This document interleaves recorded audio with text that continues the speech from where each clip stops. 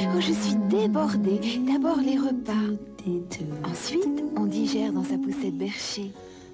Une nouvelle couche berchée, c'est plus prudent. Et on s'endort dans son petit lit. Oh, c'est crevant, mais ils sont tellement mignons à cet âge-là. Bercher, c'est bien joué.